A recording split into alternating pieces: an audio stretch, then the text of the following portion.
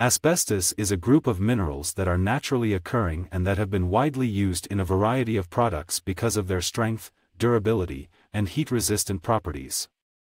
However, asbestos fibers can be released into the air and inhaled, and exposure to asbestos has been linked to serious health problems, including lung cancer, mesothelioma, a rare cancer that affects the lining of the chest and abdominal cavities, and asbestosis, a scarring of the lung tissue. The World Health Organization, WHO, estimates that around 107,000 people die each year from asbestos-related diseases.